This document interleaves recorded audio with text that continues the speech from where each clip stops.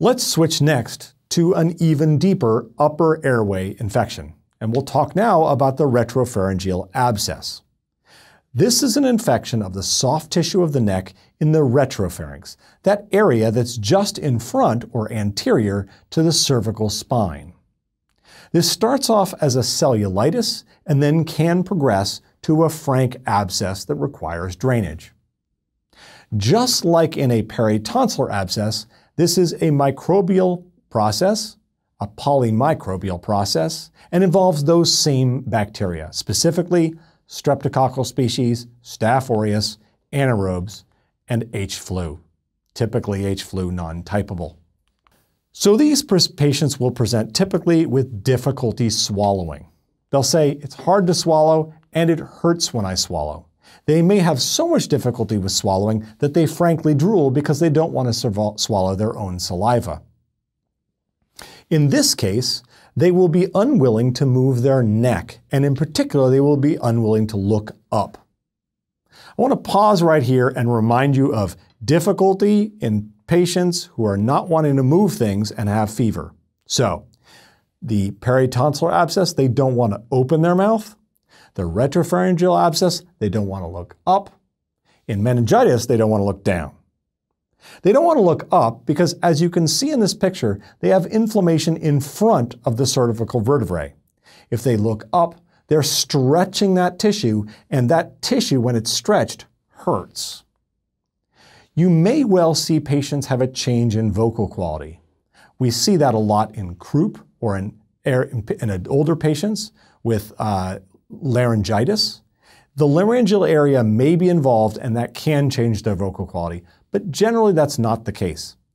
They may have unwillingness to move to the side if some of the infection has spread laterally and is now involving stretching if they look in one direction or the other. Patients will typically have snoring or stridor, and they may develop respiratory distress if it gets very severe. You maybe will notice some neck swelling along the side of the neck. A mass, such as a big phlegmon, or even just a bunch of matted lymph nodes like lymphadenopathy. Patients will have trismus only in peritonsillar involvement. They typically do not in retropharyngeal involvement. Very rarely this can extend, extend downward and they can develop chest pain.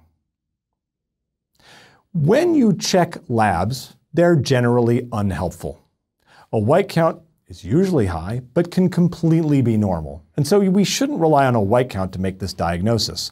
Likewise, while some recommend blood culture, it's virtually never helpful, so I do not recommend blood culture.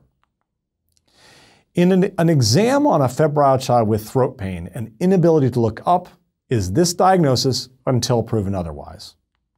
And, like I said, limitation in lateral movement implies that it might extend laterally. So how do you diagnose it? Well, imaging is key. So in this case, what we'll do is we'll get a lateral neck film. Here you can see a patient with a pretty impressive retropharyngeal abscess. The space between the cervical vertebrae and the open pharynx should be less than half the width of one vertebrae. In this patient, it's more than the width of an entire vertebrae. This patient definitely has a problem. Keep in mind, if a patient is breathing out, you can have a false positive. So you want to check with your radiologist that the technique of the film was good. This can also happen if they're not extending their neck, but they have their neck down. And remember, they don't want to extend their neck. That hurts. A neck CT is done in patients where we suspect a problem. We almost always do a neck CT in patients where they're going to the operating room, where we're going to drain this. And the reason we need that CT is because we need to understand exactly where the problem is what parts we need to drain, how best to approach the abscess. It would be nice to do an MRI, but in this case we typically don't. That's because the airway is tenuous. These patients don't have a great airway, and most of them to hold still would need to be sedated, and sedation is dangerous in a limited airway.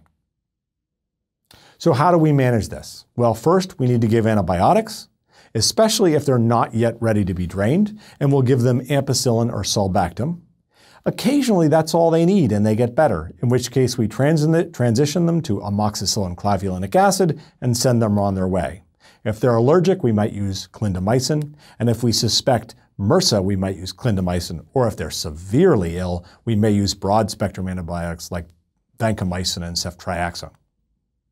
There's our alternative, clindamycin. Think about allergic patients and think about if we're suspecting MRSA. In terms of steroids, they're indicated but only if there's an acute airway obstruction. Steroids are not useful if there's no airway obstruction. They don't seem to affect the course of illness, and we like to avoid steroids in patients with bacterial illness because we don't want to blunt the immune system response. What's key is if it's growing and it's not getting better on the antibiotics, this needs to be drained. If it looks like a frank abscess, the ear, nose, and throat doctors may just decide to drain it empirically right off the bat.